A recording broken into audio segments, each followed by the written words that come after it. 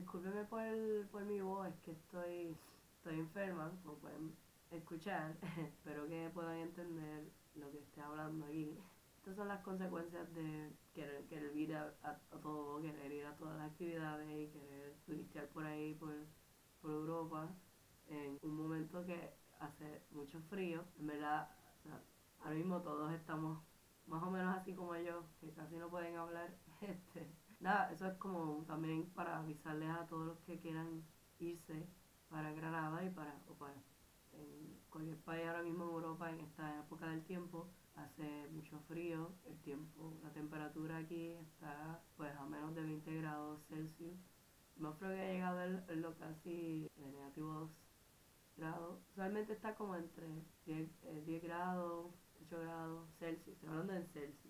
Tampoco aquí en Granada se pone tan frío como pues si está en Alemania o si está en Polonia o, o Inglaterra, que ahí sí, ahí sí ahora mismo hace mucho frío. En Granada han dicho este año que, que, el tiempo, el clima está bien, bien extraño porque usualmente ya para la época de enero, a principios de febrero, que es el tiempo más frío, usualmente hace mucho, mucho más frío de lo que está dando ahora. Todos me han dicho que ha tocado un tiempo en que Granada no hace frío. Para nosotros es frío porque nosotros estamos acostumbrados a, a, a una temperatura caliente todo el año.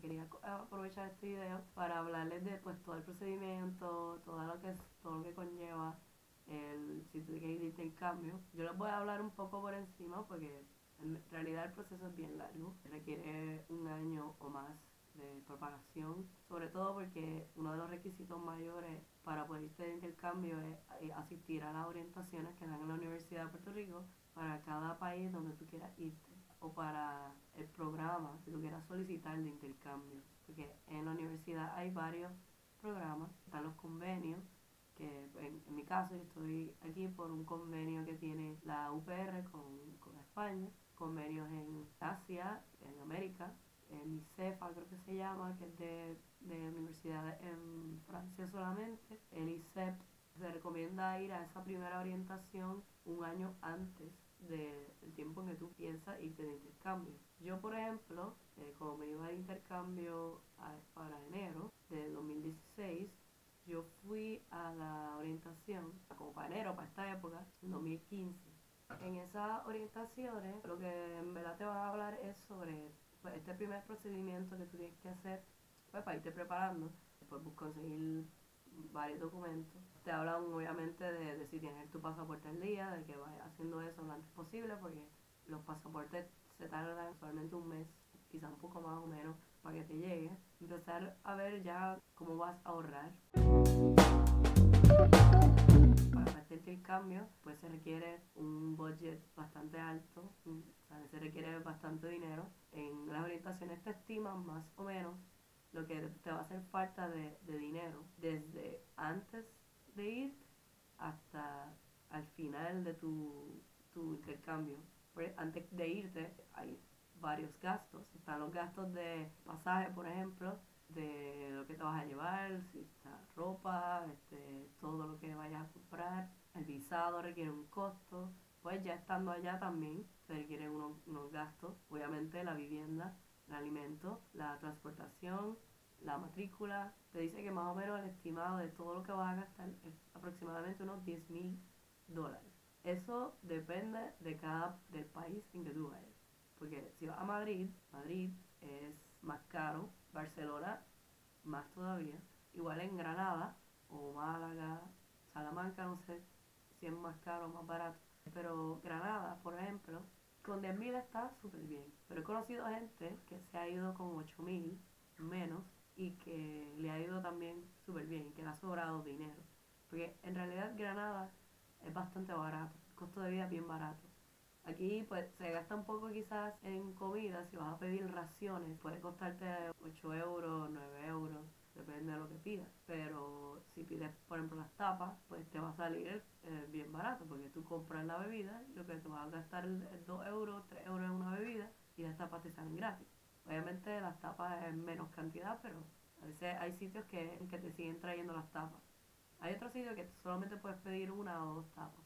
pero hay otros que mientras tú te mantienes en el lugar con, con gente y pidiendo bebida, ellos te siguen trayendo platos de comida y tú no pagas absolutamente nada por esos platos, solo pagas por las bebidas.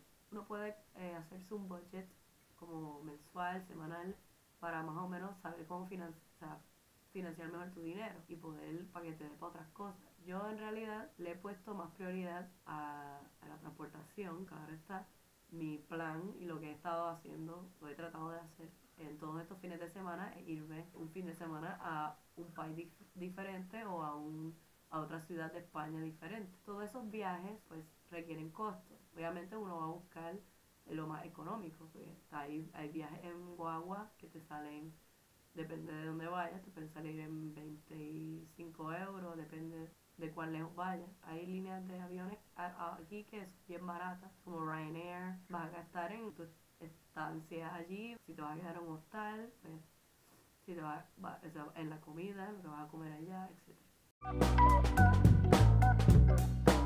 Yo, por ejemplo, no me vine aquí en préstamo, pero ahí tengo, conozco gente que se ha ido en préstamos, que han solicitado el préstamo y pues ahora está súper bien.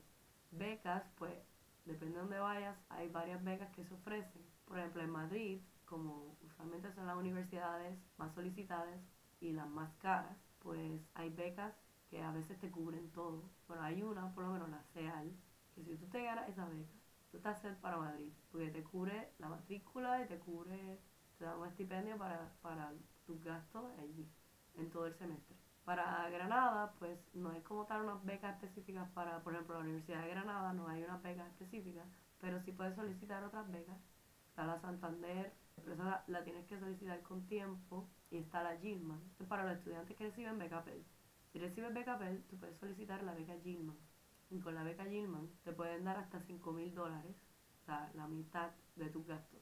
Básicamente la beca Gilman lo que te van a pedir muchas cosas, pero lo más importante son los dos ensayos que te van a mandar a hacer.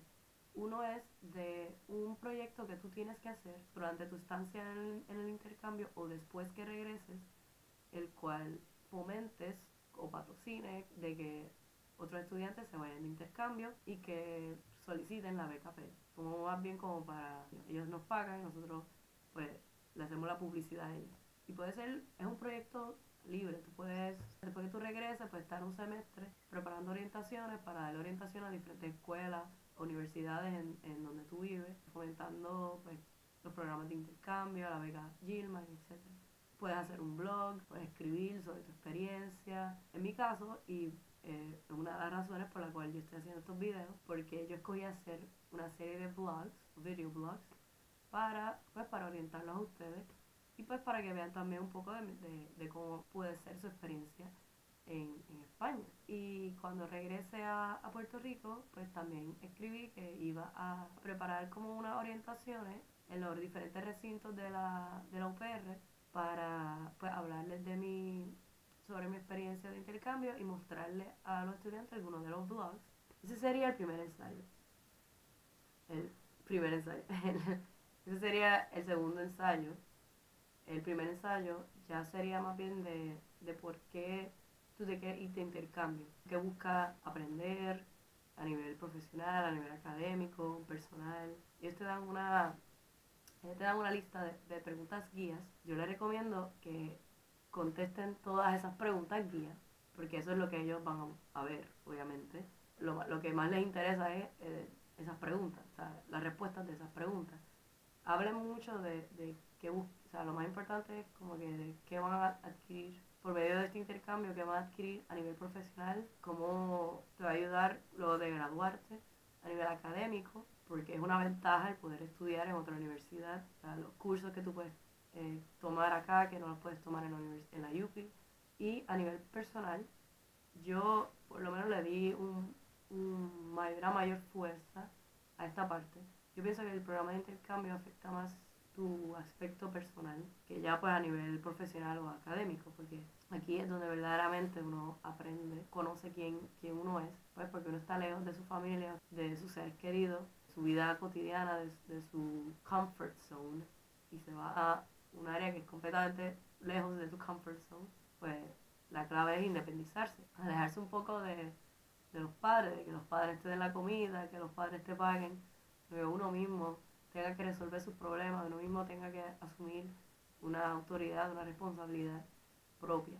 Uno aprende también mucho de sus propios límites, uno aprende mucho de uno mismo aquí, uno se va a dar cuenta de cosas que uno antes no sabía de, de sí mismo. Pueden buscar la información aquí en, en, en una área de la pantalla, lo voy a poner en la página donde pueden buscar información de la beca Gilman, todos los requisitos, la fecha límite para, pues, para, el próximo año. Háganla, yo les recomiendo que la hagan en verano, o sea, el verano antes de, si trabajan el segundo semestre, pues háganlo en verano del, año anterior. Yo por lo menos la empecé a hacer como para mayo 2015, porque más o menos la fecha límite creo que es junio o julio, no me acuerdo. Ellos te avisan ya como para noviembre, si fuiste aceptado y cuánto, cuánto ellos te van a pagar. A mí me pagaron 3.500.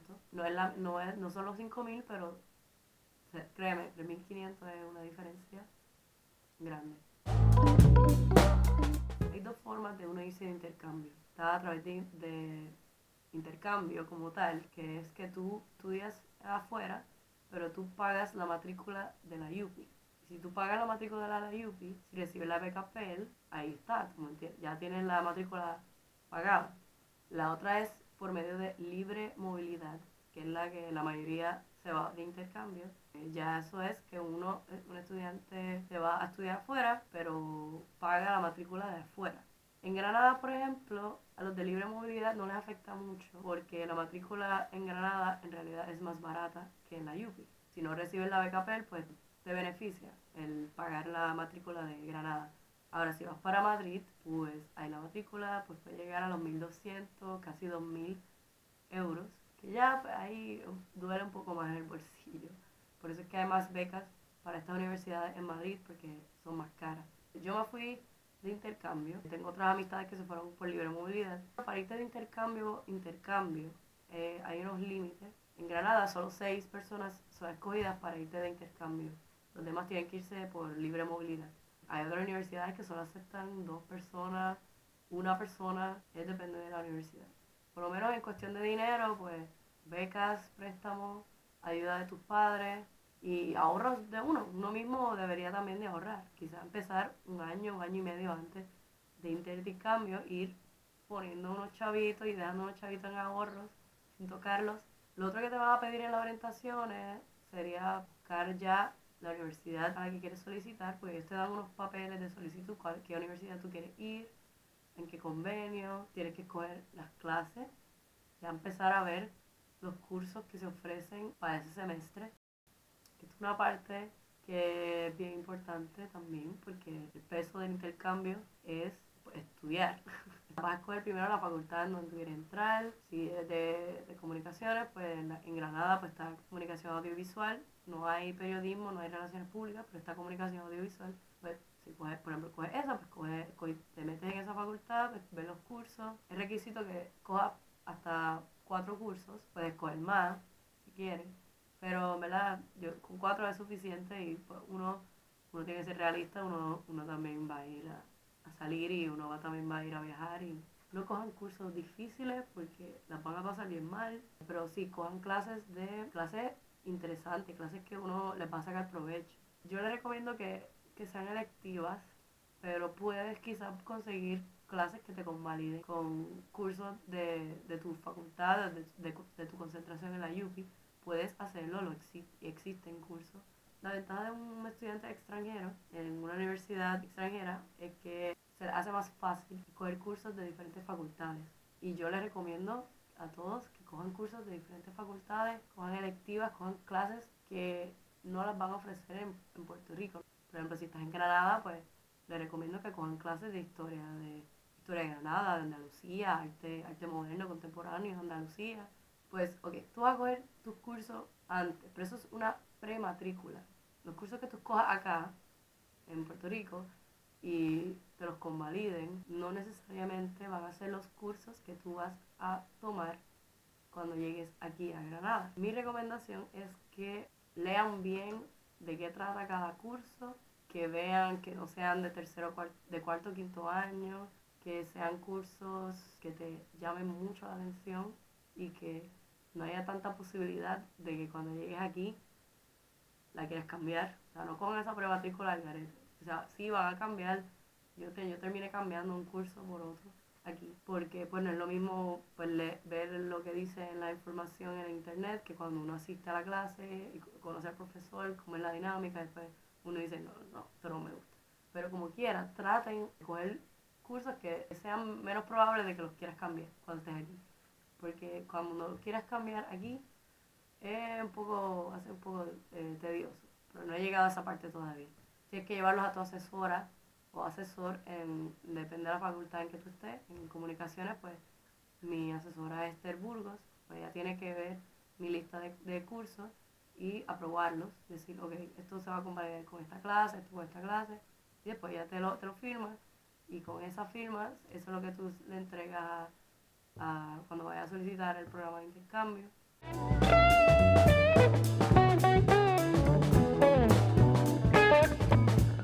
Ellos son los que van a ayudarte en todo, especialmente Almadelia Adaramos, ella es como la coordinadora de, de todos los programas de, de intercambio. Ella, a ella, ustedes si tienen cualquier duda, en cualquier momento, pueden ir a donde ella y ella les va a aclarar todas las dudas.